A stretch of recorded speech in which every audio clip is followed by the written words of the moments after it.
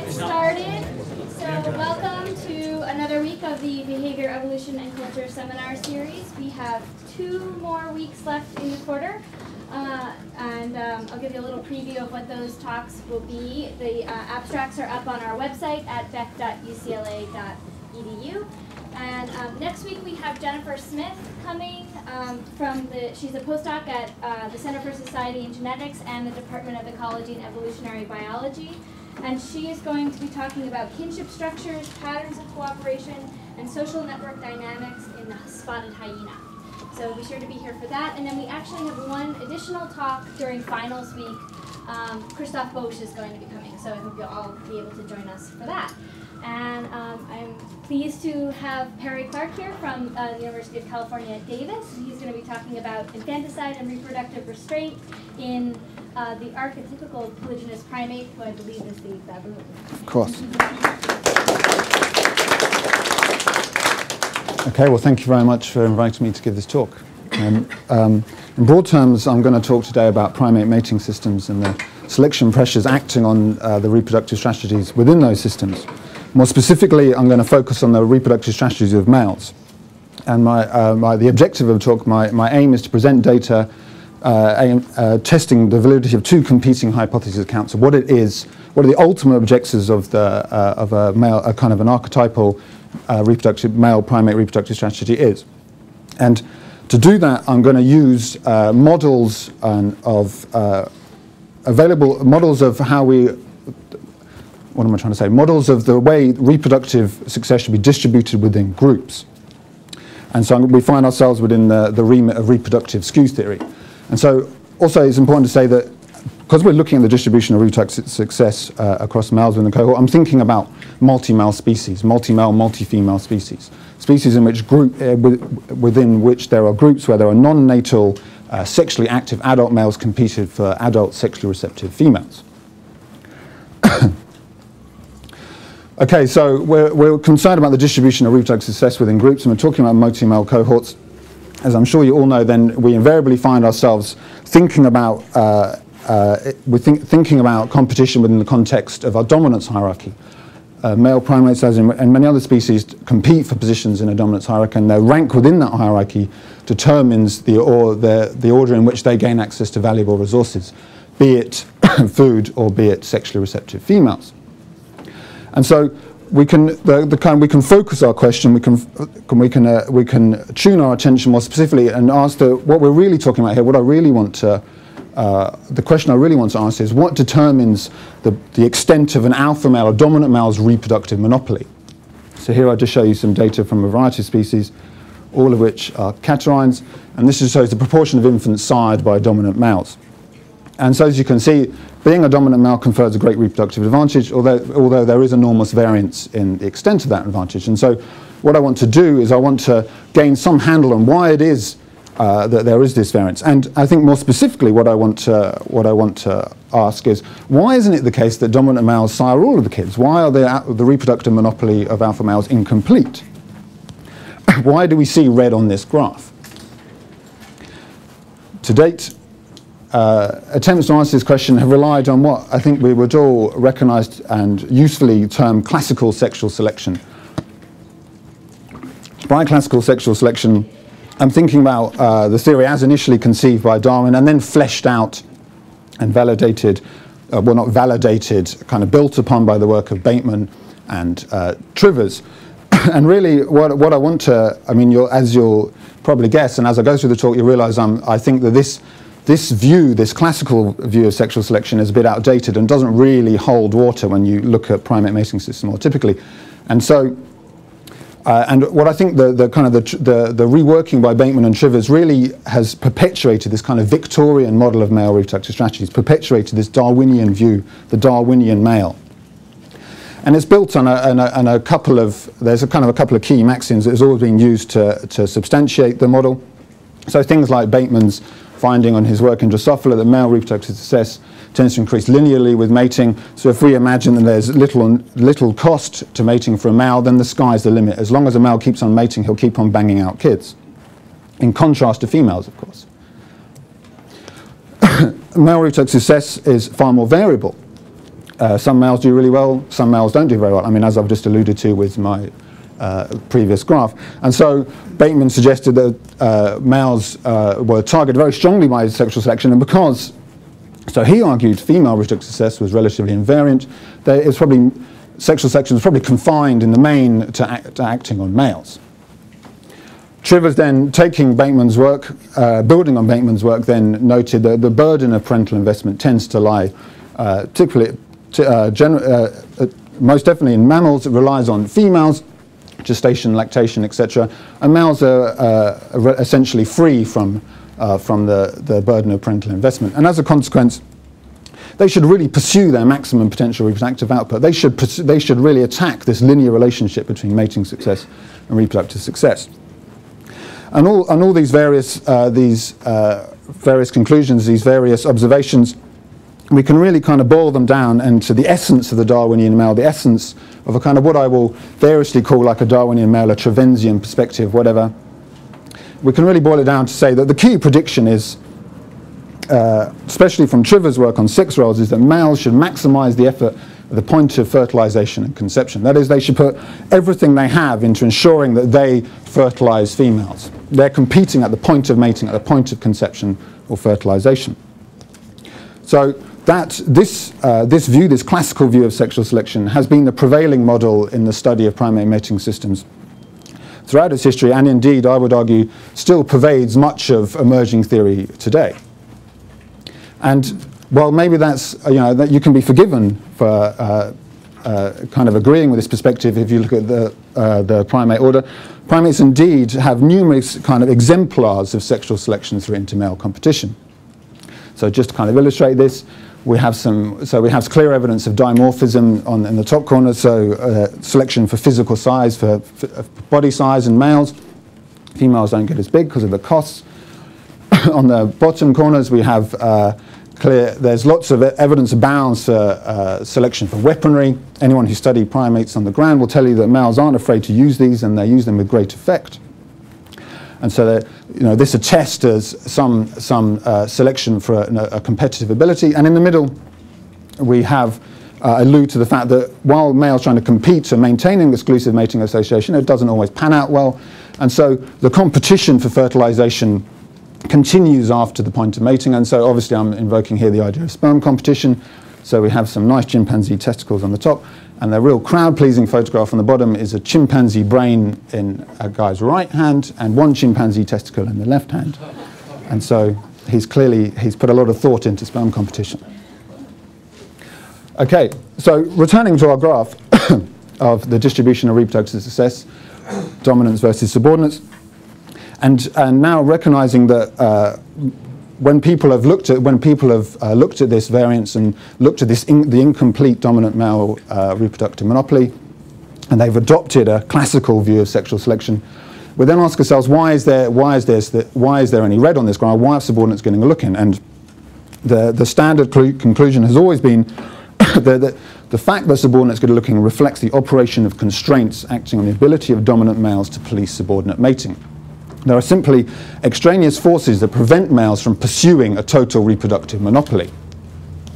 And uh, more, this, this, uh, this was first suggested a long time ago in primatology, but more recently has become formalized within skew theory and is generally referred to as uh, the kind of a compromise view of, of reproductive skew. That is, the assumption being that males want all the reproductive, want to sire all the kids, but they're prevented from doing so by um, extraneous forces. And in, in primatology, it's more commonly kind of referred to as a limited control view. Uh, uh, that was a phrase put forward by Clutton Brock, and it seems to have taken hold within primatology.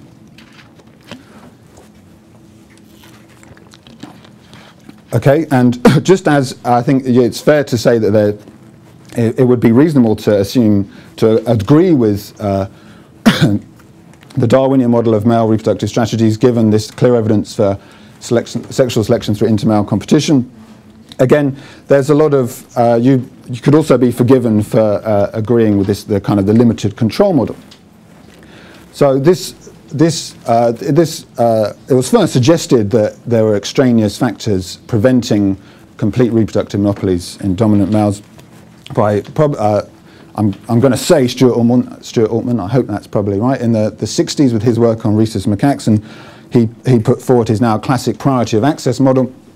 And the, the kind of the, the, key, the key point in that model was that he noted that the receptive periods of female primates are invariably quite protracted in the order of days. And so to ensure uh, an exclusive mating association, males have to guard those females throughout that period. Sometimes only a few days, sometimes many days. and as a consequence, simple stochasticity in female reproductive demography means that these, are, these receptive periods can overlap. And uh, as a consequence, to ensure uh, it, uh, it's impractical for a, dominant male to try and guard two females at once. He's, he's basically going to lose out if he tries to guard two at once. And so what he's forced to do in when there's periods of overlap is to confine his attentions to one, only one female, therefore allowing subordinates, most Altmann would argue a, it would fall down the hierarchy, so allowing a, when there was two females overlapping, and then allowing the beta male to have a go. and the key prediction was that the more overlap you observed within a species, uh, the lower the, the extent of the dominant male reproductive monopoly. And indeed, this is what you see. And so here I show you some data from a recent paper by Julia Ostner, showing a clear negative association between synchrony is a slightly misleading term here on the, uh, the x-axis. thinking more about estrus overlap. There's not perfect synchrony, but there's just kind of varying degrees of proximity between the receptive periods of females. So this is on the x-axis, on the y is the proportion of infants sired by an alpha male. And as you can see, there's a clear negative association. And indeed, not just uh, cross species does this, uh, do you see this effect, it's also it's been shown time and time again in behavioral studies on the ground that you, there is this effect of estrus overlap. So there's so I put it to you that there is clear evidence that dominant males are subject to constraints on their ability to police subordinate mating.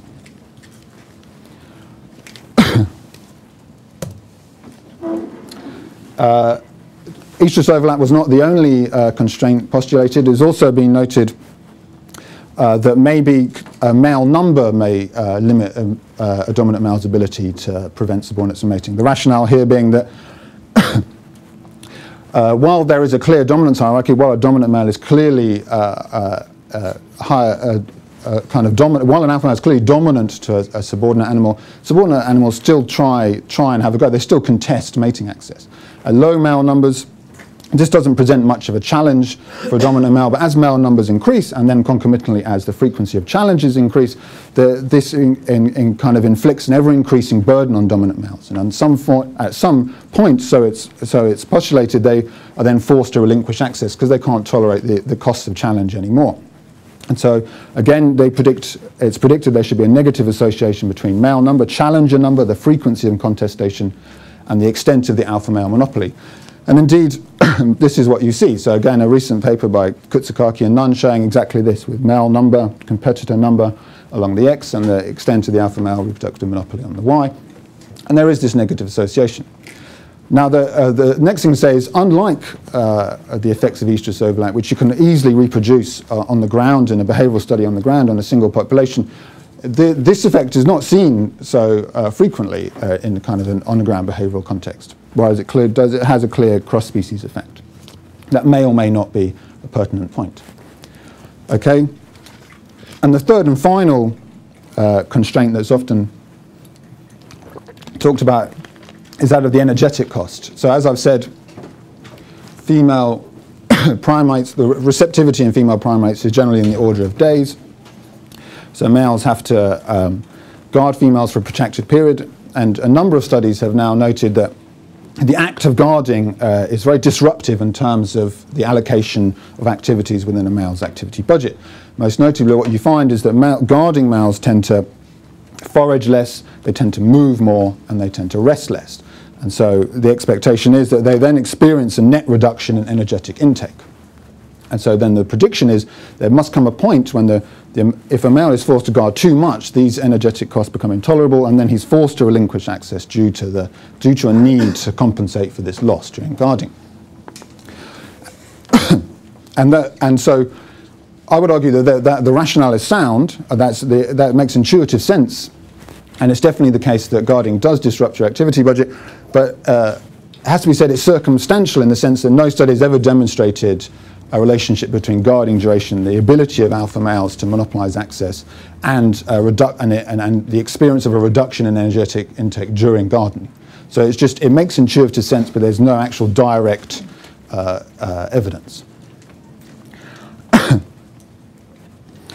okay, so just a kind of a quick recap. So we see that we see these incomplete reproductive monopolies by dominant males, and uh, we know that traditionally and indeed currently people tend to tend to try and account for this, uh, for, for this variance, for this lack of uh, complete monopoly using classical sexual selection. And they argue the fact that uh, males don't, uh, their dominant males don't sire all of the kids is because there are constraints acting upon their ability to police subordinate mating. And indeed, there is clear evidence that dominant males are subject to these constraints. So what's the problem?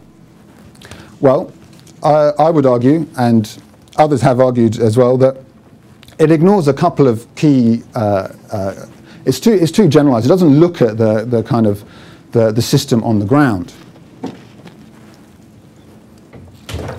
And so, in particular, in the context of this talk, I'm going to argue that it ignores, most notably, it ignores infant mortality, as I'll illustrate in a bit, as I'll show you in a bit. There's a there's substantial infant mortality in uh, primate species, most notably as a result of infanticide. And uh, a classical uh, kind of Triversian view of sexual selection would say that males shouldn't necessarily worry about that. Parental care is the remit of the female. They can compensate for through infant mortality more efficiently by simply remating again. That's not going to hold in a uh, that, uh, Hanna Kokko and others argue that's not really going to hold simply because they're not going to encounter enough females to compensate for this loss of mortality. And so males should really be sensitive to the issue of offspring survivorship, the issue of infant mortality. Something that may be more specific to primate mating systems is that uh, is the fact that not all care can be provided by females. There are certain, there are certain, there are certain forms of parental investment that a female is incapable of giving. This is in particular in the context of infanticide, as I'll again illustrate later. Females aren't really in a position to protect their infants from attack by males because invariably males are substantially larger than them and they really they can't do much about it if they're on their own if it's one male versus one female the male wins without exception and then finally given then so the, the implication is that there's this constraint on female care and so there's this need for some form of male investment some form of uh, uh, paternal investment then well, this then draws our attention to the fact that then adult mo male mortality becomes salient the fact that if you are required to invest in your infants as, as an adult male uh, you should then worry about the fact that if you're not always there, if you die, if mortality is high, this creates a bit of a problem for you. And the way, the way, the way I'm going with all of this is I'm, I'm, I'm suggesting that there, there is a, there's a reasonable, there's a reasonable, uh, uh, it's reasonable to assume, given these constraints, given these, these factors, that the, the, the pursuit of a total reproductive monopoly as in contrast to what uh, a kind of a classical view of sexual selection would argue, there's a, there are reasons to believe that the pursuit of a total reproductive monopoly may not always be adaptive. Yeah, so classical sexual selection, wrong, is the, the kind of take-home message there. And uh, I'm going to illustrate all of this, from this point on, I'm going to illustrate all of this through data from uh, Chacma baboons, two troops of wild Chacma baboons. And kind of, unless I otherwise say, then it all, it all comes from one particular site, Werp Nature Reserve, which is found in uh, South Africa. It's approximately 30 kilometers from Cape Agulhas, the most southerly point in uh, Africa, and that is noteworthy because uh, the, the, baboons there experience very high seasonality. The high latitudes mean they experience very high seasonality, excuse me, in uh, uh day length, which is something we're going to try and take advantage of later on. So two troops, and going to try and present as much of the data from them when the project started. The project, uh, the study was founded by my uh, PhD supervisors, uh, Dr. Uh, sorry, Professor Peter Henzi and Dr. Louise Barrett, Professor Louise Barrett, sorry. And yeah, so this is where the data comes from, just kind of setting the scene, contextualizing it all. And also just, yeah, uh, I suppose I should also, I'm sure most of you know, but there are five generally recognized species, subspecies of baboon. Chacma baboon is the most, uh, the most southerly, and is the most southerly savanna baboon, which is what people normally think about if they kind of imagine a baboon. By which I mean a multi-male, multi-female species hanging around eating stuff on the ground. Okay, so I kind of, I'm setting up my argument, I'm setting the scene for what I believe to be the, uh, a possible counter, uh, counter model to that of kind of classical sexual selection, Triversian sexual selection. And so maybe uh, you know, I feel, I feel it's important that I, I, point out that baboons are a very, very good model of uh, sexual selection, uh, classical sexual selection. So if I find any deviation from, a, from the, the classical model, I, I, want it to be known that this is not a consequence of me studying some idiosyncratic species. Baboons are exemplars uh, of sexual selection through intermale competition. So we illustrate this here with males are generally about 1.9 to 2 times the size of a female, very, very much larger. And uh, again, there's clear, uh, there's a lot of uh, clear sexual selection for weaponry. Indeed, I, I don't know, I, I've always meant to confirm this. I've given this talk before, and I always say this, and I always wanted to confirm it. But I think the Papionines are the only uh, uh, species, the only um, uh, group that have, uh, they have these dental adaptations on their lower jaw that allow their canine to grow back and formed a kind of a whetstone, a honing facet that allows them to sharpen their teeth. And so when you hear male baboons fighting, you often hear them grinding their jaw and they're sharpening their teeth. And their, sheep, their teeth are very, very sharp and inflict very, very serious damage upon each other. And so they are important. And they are important because what you find is this is like a very kind of loose photographic correlation. But what you often find is that good canine quality, good physical condition is also associated with the attainment of high rank. As your, dench, as your, as your canines deteriorate, as your physical condition deteriorates, so does your rank. And so you've got to be in good nick to be an alpha male. And you want to be an alpha male because you'll sire most of the kids. You'll sire anywhere between 60 and 80% of the kids. So you want to have all the weaponry you can and you want to be well equipped.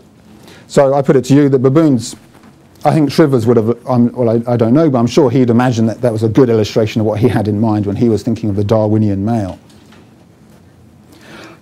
okay, well, as I pointed out earlier, I think one of the things uh, classical sexual selection overlooks is this issue of infant mortality. And this is, this, uh, and this is why baboons are also a good, uh, uh a good kind of a species to examine, the, the, answer the questions I want to, to ask questions I want to answer.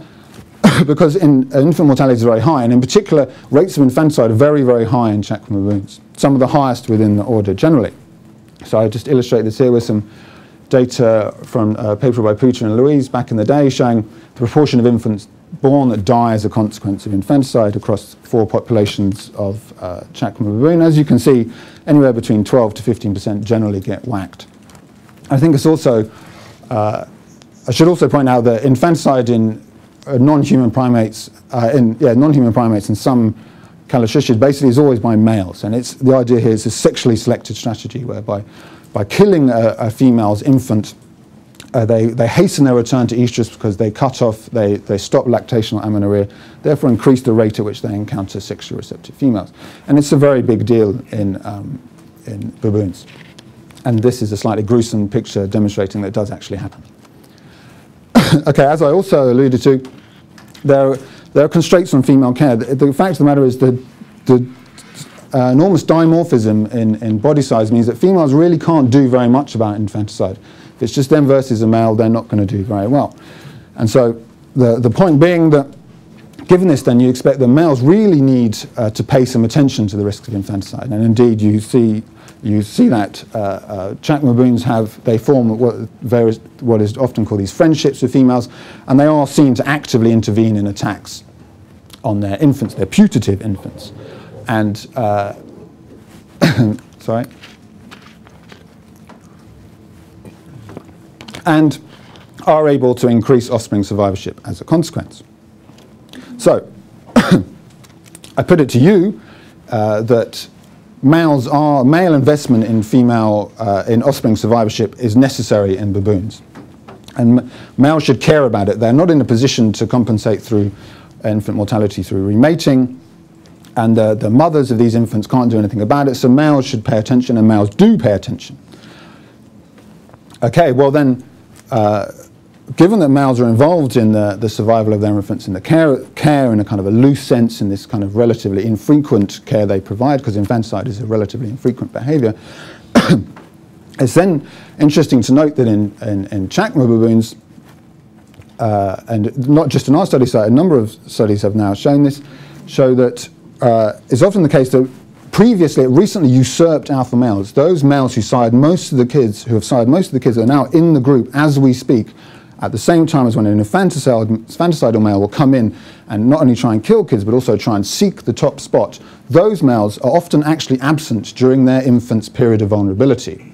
See here I show you residency curve, uh, residency curve within a group of recently usurped alpha males relative to infant age. We, basically, the first 12 months of the period you really want to worry about if you're an infant. And as you can see, uh, many infants are born with, uh, about 25% of infants are born with that as their kind of the, the most likely sire, absent the past alpha male, absent, and this can go up to nearly 50% if you go kind of as infants grow to seven to eight years old. And so, so what I'm kind of leading up to here is to say that males are necessary to ensure the survivorship of their offspring, but they're not always in a position to do so. They are often absent from the group. Now, this isn't always the case in mortality, but it is sometimes they sustain a wound, disappear, and you sometimes find males come back after uh, quite a long time. But nevertheless, there is, there, is this, there is this deficit in care. I put it to you that there's a deficit in care due to this post-usurpation absence of, of, of, of, previously alpha males. And so this is all building up to uh, uh, what, I, what, what kind of class, what reproductive skew theory would call a concession model of uh, male reproductive strategies. That is, and, and what, I, what I'm, I've slightly gone about that, asked about face. Um, so my hypothesis is alpha males should concede conceptions to encourage subordinate residency and increase, in turn increase the chances of additional protection. And the reason I hypothesize this is because we know that in, in female baboons, the solution to this absence of males is to try and, uh, and predispose other males to protect their infants. They, they try and pursue a polyandrous strategy, poly, polyandrous within a single cycle, and they try and get multiple males inclined to protect their infants. And we illustrate this with this wonderful photograph. It may not be very clear, but there's one male uh, who's like a, a slightly well-anchored male, surrounded by like seven females with kids. And this was like during a time when a nasty male was in the group. And he's, he's probably thinking, my God, what am I doing here? and so uh, the hypothesis is that maybe alpha males, maybe they, alpha males could in some way facilitate this female counter strategy. Maybe they could play off this female solution to their absence and benefit from it as well. And so they, they, could, they could allow, they could increase its efficacy. And so the reason we talk about subordinate residency, the, the, the, the classic prediction of a, a, a concession model of reproductive skew is that you, as an alpha male, as a dominant male, you have to provide some incentive to subordinates to, and to, to encourage them to play the game, to play the strategy you're trying to play out. And so, but you only need to do so, you only need to provide a, a staying incentive, incentive for subordinate participation if they are, um, if they are uh, inclined to leave the group at any time. And the uh, nice thing about Chacma, what's gone wrong there, is that you do find that subordinate residency is, uh, is relatively uh, I want to say flitty, that's not the word I kind of want. Subordinate males tend to move between groups on a very short-term basis. Their residency is quite um, stochastic, short-term. And what you find is that in our uh, study site, that males, subordinate males will move in, turn, in, in response to short-term changes in the availability of receptive females in other groups. And so their residency within the focal group is relatively unpredictable. And so if you're, and I illustrate this here just quickly with a graph showing uh, on the on the x-axis, we have excess male number. That is the number of adult males over and above the number of sexually receptive females within the group. So when there are when the when excess males are positive, there's more males than there are sexually receptive females. When it's negative, there are less uh, males than there are sexually receptive females. And on the Y, we have the change in the following month in the size of the male cohort in response to, to, this the, to, the, to the number of excess males in the previous month. What, can you, what you can see is that when there are, when there are less uh, males in the group than there are sexually receptive females, ten, males tend to immigrate into the group. When there are more, males tend to emigrate. And so there's this, and so from, the, from a dominant male's uh, perspective, there's a need to stabilize these subordinate movements. So there's a need to discourage these short-term movements between groups by subordinate males if they, are, if they want them to be involved in the kind of the care of their infants.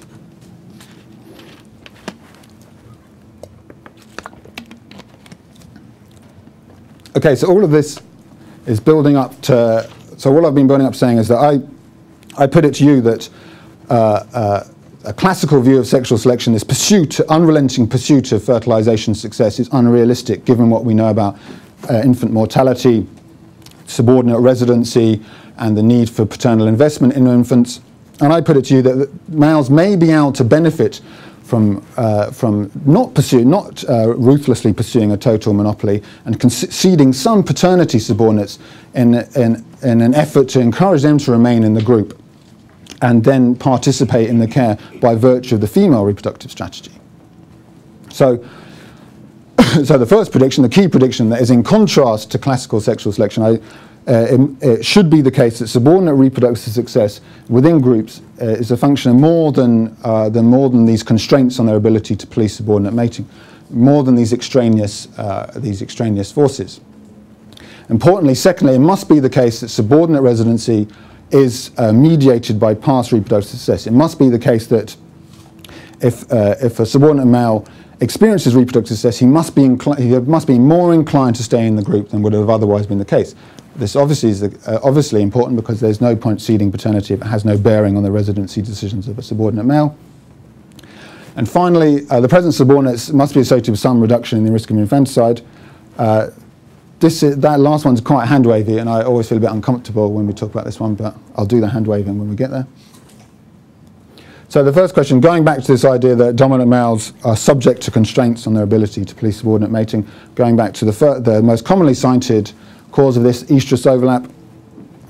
If it's, if it's all about estrus overlap, then it should be the case that all of those conceptions that accrue to subordinates occurred at time when there was overlap between the receptive periods of females.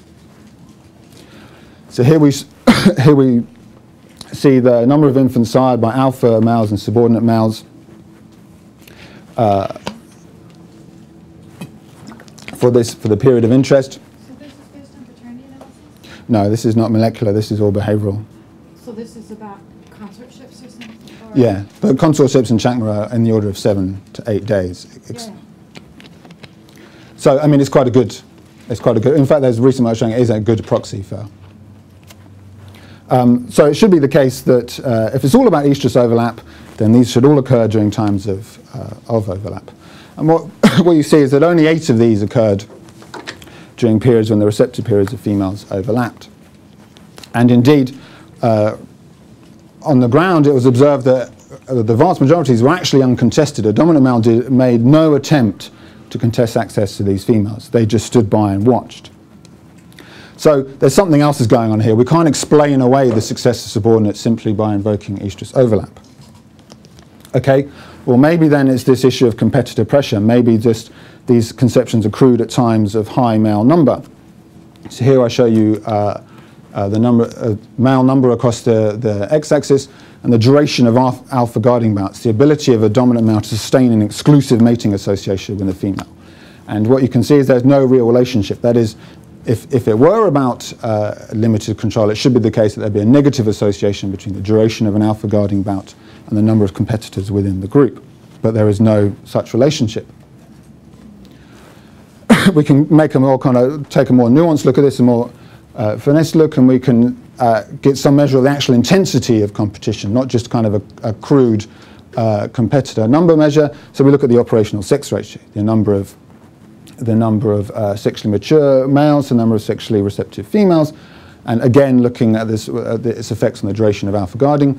And what you see is, uh, you, again, you'd expect a negative relationship if, if it were about limited control, but again, you don't see any such association. So I put it to you that there is no effective competitive pressure on the ability of dominant males to maintain exclusive mating associations. What's the unit on the X, Y-axis? Sorry, say again? What are the units on the Y-axis? Days. Days? Yeah. Consecutive. Yeah. They don't mess around, our boys. When they want to guard a female, they really get stuck in.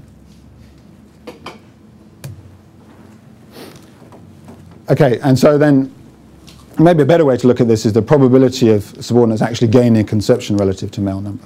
And the expectation here again is that the more challengers, the more males are in a group, it should be the case the more likely the subordinate is uh, to conceive an infant, is to sire an infant.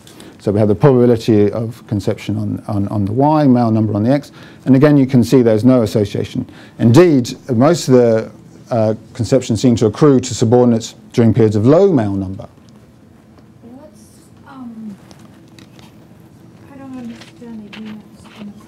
So the probability sorry, go. So the number two male has a twenty-five percent chance of, The, of, of what? no, so this is the size of the male cohort at the time when a conception of, Two males, then, have a one in four chance of getting a kid.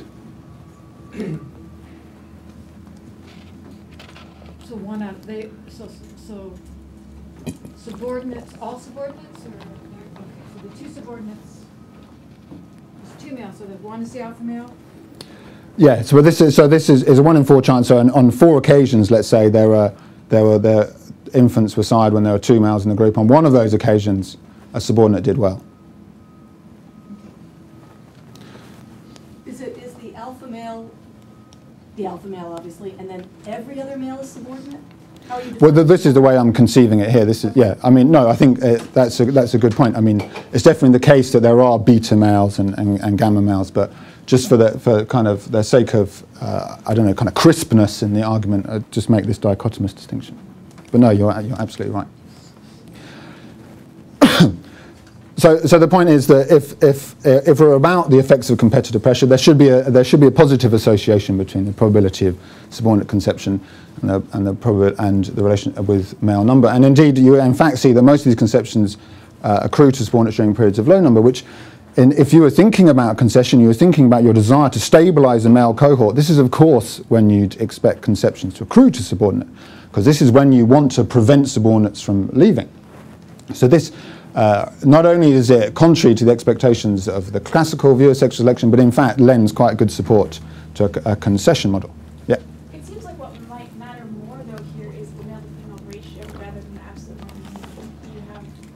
Have?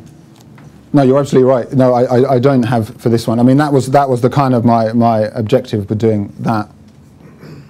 No, I mean you're you're definitely right. Okay.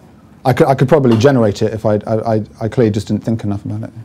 So, uh, maybe I should wait, I should wait probably, I had a question on this one. I'll wait. I can bore you to tears later on if you I like. can't wait, I can't wait. I- you know, I love Not her. Okay, so the point is, so there are these two, there are these three uh, constraints on dominant male uh, mating. Estrus overlap doesn't account for what we see on this in this in, this, these baboons here, nor does uh, limited con, uh, the competitor pressure. So then we turn to the last uh, commonly. how am I doing for time? The last. Um, the last commonly invoked constraint, that of the energetic constraint. Now, I want to preface this by saying it's really, really hard to do this in any kind of systematic way. You can't, you can't, in any rigorous quantitative way, measure the calorific intake of a wild baboon. It'll get extremely annoyed if you start tampering with its food. And so you can only really, you have to do all of these things indirectly. And so I, I openly admit that this is going to be a little bit hand wavy, so just, you can insult me all you like, but I, I know it's coming. So. Just to remind you of the argument, the argument is that uh, guarding constrains, uh, uh, disrupts the male activity budgets. In particular, it reduces the amount they feed, the, the, the amount they rest, and it increases the amount they move. So the, the expectation is they experience a net reduction energetic intake. okay, so and I also said to you that uh, all the data I'm presenting to you comes from a troop of baboons found at very, very high latitudes. They experience very, very uh, big seasonal differences in day lengths. Now, this is notable because it's well established that seasonality in day length also has a profound consequence on the, ability, the profound implications for the allocation of activities within an activity budget. Specifically, you find that during, day, during periods of short day length, animals are forced to really focus on their feeding and forced to focus on energetic intake. But during periods of longer day, obviously they can take it a little more easily. So we thought about this and we thought, well, okay, uh, let's imagine that animals, males are subject to some form of energetic cost when guarding. Then, given that we know at this study site that there is this, uh, there's also a seasonal effect on the allocation of activities irrespective of guarding, then maybe it should be the case that there should be seasonality in, uh, uh, seasonality in, in the probability that subordinate gains a conception if this reflects some underlying energetic burden. okay, so so the first thing to do is just to see what we what we can see in terms of the allocation of activities across seasons. Winter here is so we're talking like 10, 11 days. Uh, 10, 11, 12, let's say, and then in summer we're talking like 14, 15 days, and so they're substantially longer. And these are the, the, the three key activities. Uh, again, blue is non-guarding, red is guarding across winter and summer, and you can see that um, that um, there is there is some there is some uh, difference across seasons in the in the allocation of activities with a guarding and non-guarding male. But I'm not I'm not actually going to be very excited about this difference. This is not what I'm going to rely on to when I kind of give my, my money shot. But there is there is some sense in which there is males are subject to uh, greater uh, costs when in, when guarding in winter. They seem to rest far less and they seem to move far more. So com compared to summer seasons. and so given this, then maybe if there is some form of energetic cost, maybe there should be seasonality in the probability of subordinates gaining a conception. And so this is, uh, on, on the left, we have the duration, so going back to this idea of the ability of a dominant male to maintain an exclusive mating association, we have the duration of alpha guarding on, on, the, on the Y here on, on the left-hand graph and versus winter versus summer, and there's no difference across seasons. You can see that. Again, then the probability that a subordinate gets a look in in winter versus summer, again, there's absolutely no difference. And so and when I said I wasn't, I'm not necessarily that worried about if there is a seasonality in the costs of guarding for males. The fact of the matter is there's no, there's no apparent evidence of any energetic cost acting on, on dominant males, irrespective of, uh, irrespective of seasonality. So my slightly kind of, my, my vague attempt to get at what it is, the energetic burden of guarding may or may not be very robust, but the fact is there is no evidence uh, that uh, the that the um, reproductive monopolies vary in relation to possible underlying costs.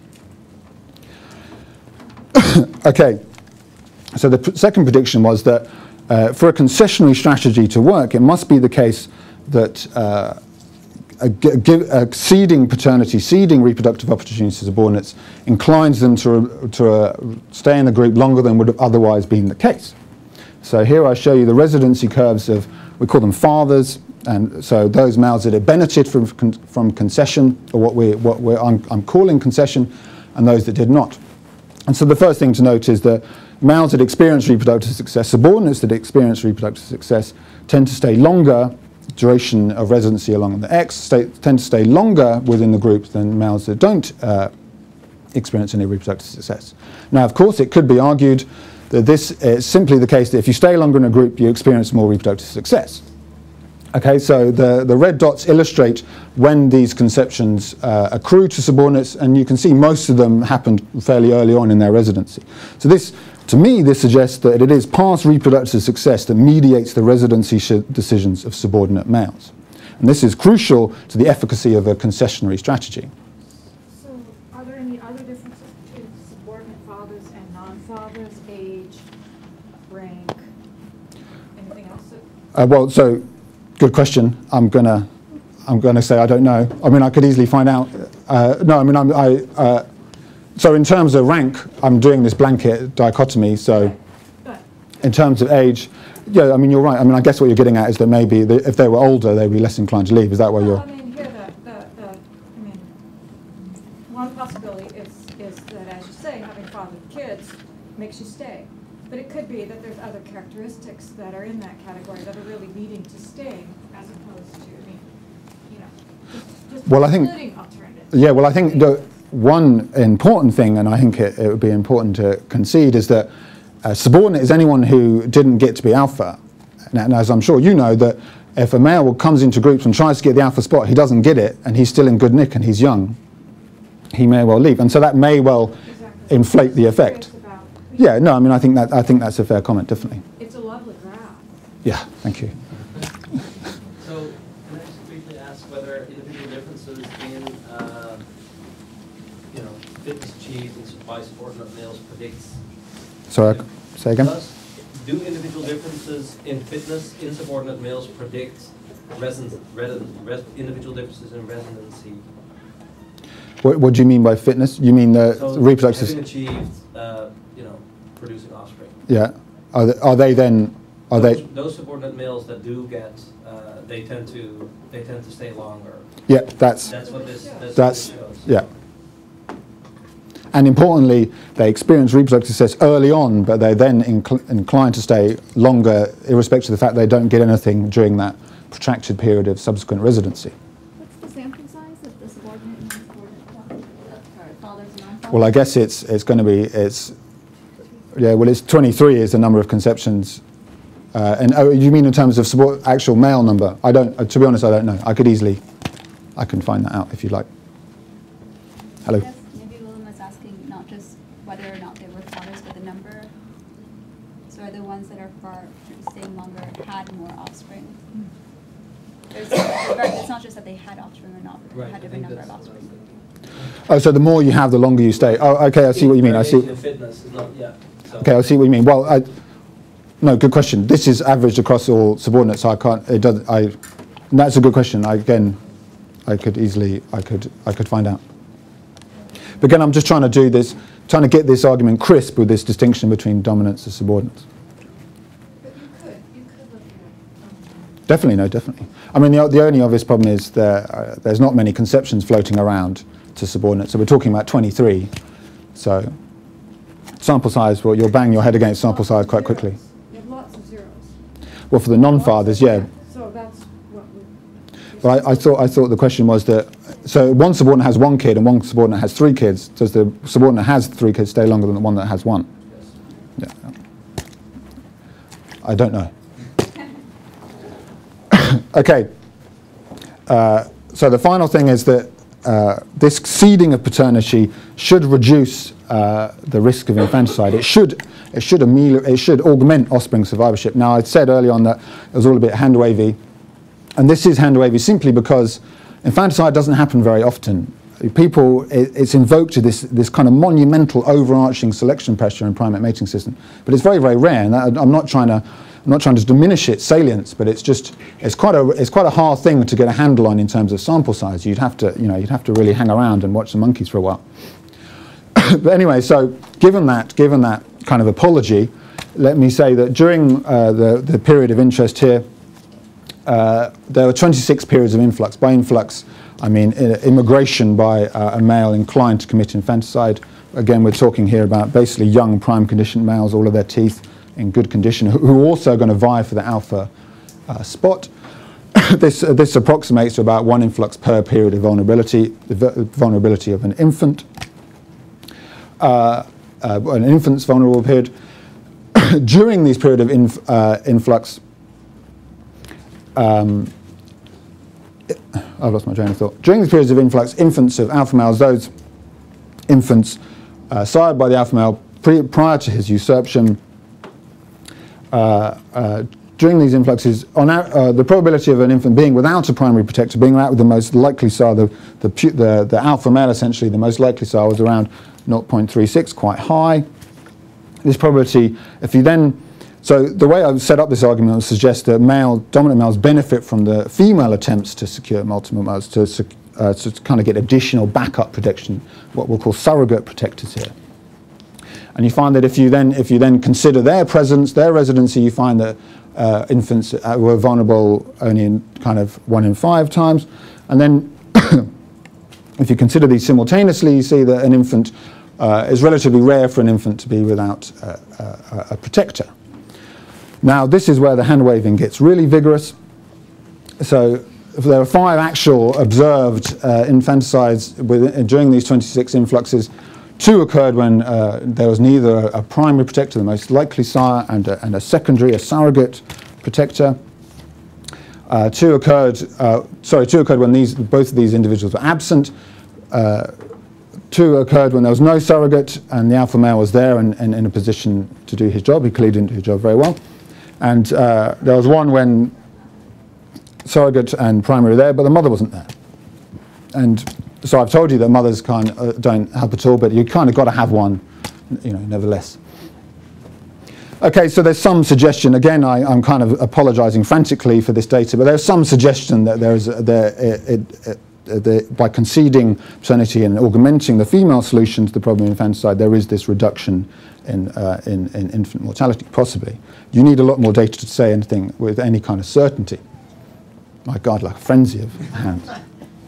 So this calculation of infant probability. How old are these babies now? So this is uh, anywhere between 0 and 12 months. Were there no infanticides of infants of non-alpha males, subordinate males? Uh, possibly. This, I've only confined my interest uh, to here. But you know which ones are the infants of the alphas and which are... Yeah, based, I mean, based on this, on, on, the, on on this concept. behavioral, on, on this behavioral measure. yeah.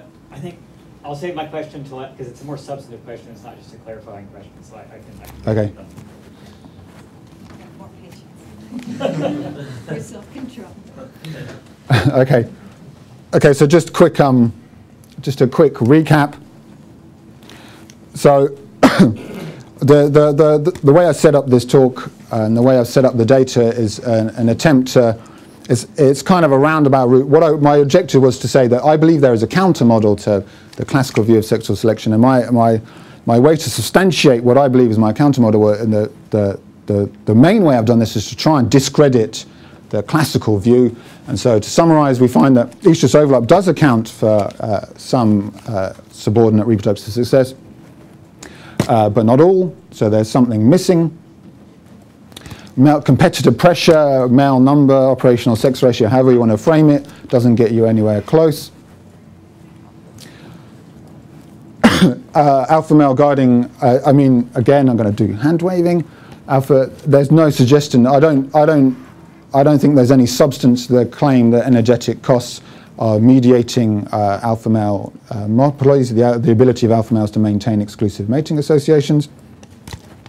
And it is certainly the case uh, that subordinate residency is sensitive to reproductive success and importantly sensitive to past reproductive success. They're not lingering in the expectation of more, they're, they're lingering because they've already had some.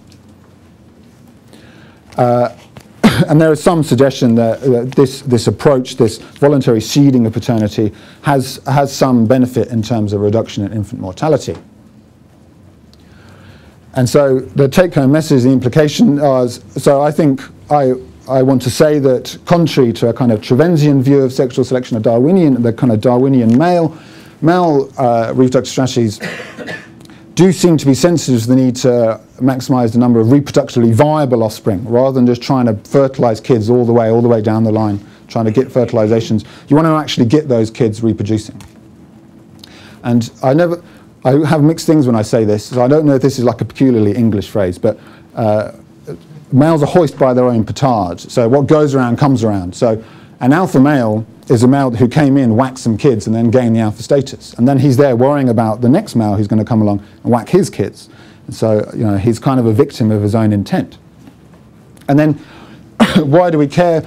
Well, I, I would argue that a lot of prevailing theory, particularly in primatology, I'm thinking now, a lot of recent work on this idea of intersex, uh, on intersexual conflict and the, and the idea that males and females should always be at loggerheads about the solution to infanticide, particularly this idea of polyandry, relies very heavily on, on this kind of old school view of sexual selection. And, and in addition, I would say that and uh, related to this, this uh, the, the prevailing model of estrus advertisement, here I'm thinking about the graded signal hypothesis, this relies very explicitly on, on a classical view of sexual selection. And I think given what, we, what, I, what, I, uh, what I now know about uh, what baboons are up to, the archetypal polygynous primate, I suggest that we need to go back and think a little harder about what these, what these models and theories are saying. And so I just thank these people. Also, I realized I left Richard off. Some of you, I'm sure, know Richard McElreath. He's my mentor and generally good guy. And also, I want to close by saying that, that all this talk about infanticide uh, always talks about males and females. And it's always about the male solution, the female solution. And so I, I present you with this extremely alarming looking man who uh, some would argue was like, could be like the godfather of primatology. He's certainly the godfather of uh, field studies and baboons. He is Eugene Marais. Oh, I've already told you that. Uh, he is an, an, excellent character on many, many levels, but he had a great love of, uh, as like many South Africans, had a great love of the veld, and he studied baboons a lot and wrote a number of books on it. But he, he said in one of these books that it's a wise baboon that knows its father. And what I'm trying to get across here is that we always imagine that infants are passive vessels in, in, in this system. So males are running around holding the infant, and females are running around. Everyone's trying to whack the kid, but it's ultimately the, the, the kid that is, you know, the, is the, the kind of the, the, the strongest target of selection. So there must be, there is some solution that may be invoked by an infant as well. So maybe one, we should turn our attentions to, to that now. And that is me boring you now over.